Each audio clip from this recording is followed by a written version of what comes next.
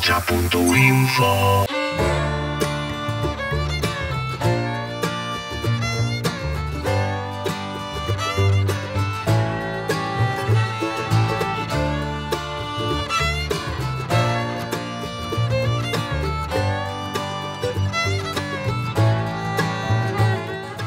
Bueno, pues el ecomercado es una iniciativa ya y una necesidad que veíamos eh, tanto los productores como los consumidores de tener un punto de encuentro de forma permanente todos los meses en Iruña.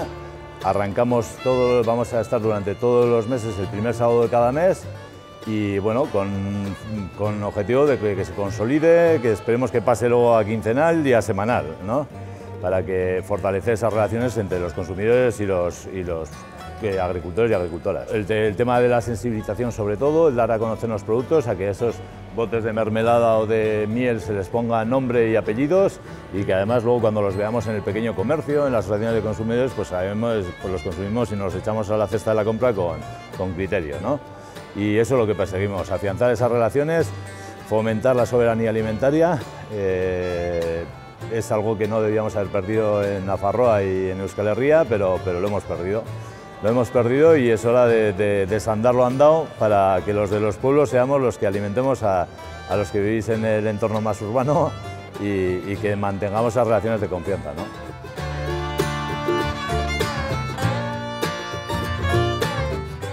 Lo que llamamos el sistema de la agroindustria, el sistema industrial en donde que hemos cambiado el modelo agrícola que teníamos, que era un modelo agroecológico, hemos pasado a un, a un modelo industrial en donde han cambiado totalmente el, el escenario. ¿no? Y los agricultores hoy en día, pues bueno, al final son personas que trabajan para, para, para grandes empresas, ¿no? para grandes cooperativas, grandes multinacionales que les dicen qué tienen que hacer, cómo, cuándo y de qué manera. ¿no? Y, y no tienen, primero ya no tienen soberanía. ¿eh? Si queremos recuperar la soberanía de un pueblo, lo primero que tener, los primeros que tenemos deben ser soberanos deberíamos ser los agricultores. ¿no? Y, y, bueno, yo creo que este modelo lo que potencia es eso, ¿no?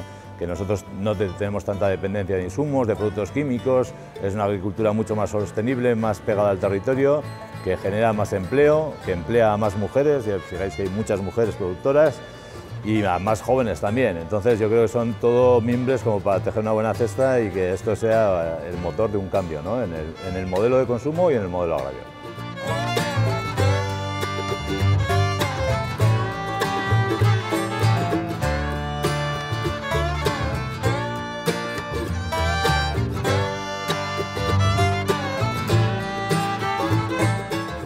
La salvación eh, necesitamos salvarnos el sector primario y todos, ¿no? Es decir, primero porque necesitamos alimentos que sean sanos y saludables y luego que sean que respeten la salud del medio ambiente y nuestra salud, ¿no? Entonces eh, hay que cambiar. Esto es eh, algo que necesitamos. Entonces el sector agrario necesita necesita muchas más cosas. Estamos todos los días hablando ahora del tema de los ODS, esos objetivos de desarrollo sostenible que tanto sacan en la foto. Bueno, pues no hay un modelo que cumpla tantos objetivos de desarrollo sostenible como una agricultura ecológica eh, y local. Hay que volver a un modelo en donde haya una producción más cercana, no haya alimentos kilométricos y, ahí mucho tenemos que incidir como consumidores, todos y cada uno de nosotras, ¿eh? porque pues, el carrito de la compra es votar todos los días y ahí es donde realmente vamos a decir qué modelo agrario queremos.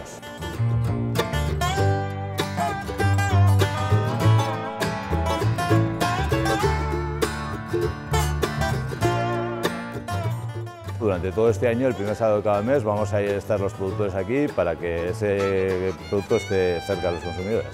¿eh? Y además, todos los jueves anteriores al mercado, hacemos un ecoencuentro también el jueves a la noche aquí, donde participan eh, restaurantes que ya consumen alimentos ecológicos, los cocineros de esos restaurantes, junto con los productores, dan un menú y una velada ahí donde compartir y, bueno, pues, pues, eh, pues debatir cosas y el modelo agrario y todo lo que nos pasa por la cabeza, ¿no? Un ratito para estar ahí de forma distendida y, bueno, sí, conocer a los productores y a los, los cocineros. Desde luego invitar a que, a que nos arrimemos aquí, a que esto sea un éxito, que los eh, agricultores y agricultoras se vayan contentos para casa con algo, algo en el bolsillo y que los consumidores también, con esos alimentos eh, eh, saludables, libres de residuos químicos y que en final, al final tenemos que tener muy en cuenta que, que bueno, que el alimento eh, es nuestra medicina.